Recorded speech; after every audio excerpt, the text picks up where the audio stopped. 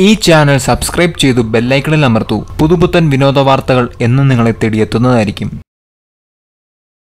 അണ്ണാക്കിലോട്ടൊക്കെ അടിച്ചു കൊടുക്കാന്ന് പറയുന്നത് കേട്ടിട്ടില്ലേ? അതാണ് ഇന്നത്തെ എപ്പിസോഡിൽ ലക്ഷ്മി പ്രിയയും റിയാസും തമ്മിൽ സംഭവിക്കാൻ പോകുന്നത്. ലക്ഷ്മി പ്രിയ ആണെങ്കിൽ ശരിക്കും ചുട്ട മറുപടിയാണ് കൊടുത്തത്. ആക്ച്വലി റിയാസിനെ കേട്ട് നിൽക്കേണ്ടി വന്നിട്ടുണ്ട്. ഭയങ്കര ആൾ ഭയങ്കര ഫ്രസ്ട്രേറ്റഡ് ആയി ദേഷ്യം വരുന്നു. റിയാസിന്റെ ക്യാരക്ടറെ പറ്റി പറഞ്ഞു കഴിഞ്ഞാൽ റിയാസ് പെട്ടെന്ന് അതായത് തിരിച്ചൊരാൾക്ക് മറുപടി പറ്റാ പറയാൻ പറ്റാത്ത രീതിയിൽ അയാളുടെ സൗണ്ട് നല്ല ഷാർപ്പ് സൗണ്ടാണ് ഇങ്ങനെ സംസാരിച്ചുകൊണ്ടേയിരിക്കും.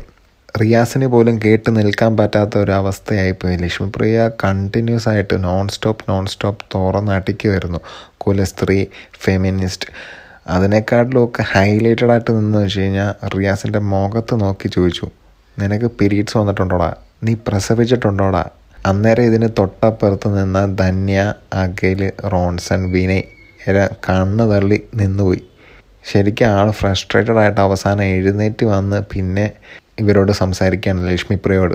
ആക്ച്വലി അവർ ടാസ്ക് അധികം ദേഷ്യപ്പെടാത്തതുകൊണ്ട് ടാസ്ക് കസ്റ്റമർ കെയർ തന്നെ വിജയിച്ചു. റിയാസിന്റെ ടീം തന്നെ ജയിച്ചു. പക്ഷേ എന്നാലും ലക്ഷ്മിപ്രിയയുടെ പറച്ചിൽ ഒരു രക്ഷയില്ലായിരുന്നു. വേറെ ആരെങ്കിലുമൊക്കെ ആയിരുന്നെങ്കിൽ ഫോൺ അവിടെ വലിച്ചെറിഞ്ഞേനെ. ശരിക്കും ഫ്രസ്ട്രേറ്റഡ് ആക്കി വിട്ടു. ഏതായാലും എനിക്ക് നിലവിൽ തോന്നുന്ന നിലവിലുള്ള ഒരു ശക്തയായ മത്സരാർത്ഥി നിലപാടിൽ ഉറച്ചു നിൽക്കുന്ന മത്സരാർത്ഥി ലക്ഷ്മിപ്രിയ തന്നെയാണ്. ബാക്കിയുള്ളവരെക്കാട്ടിലും.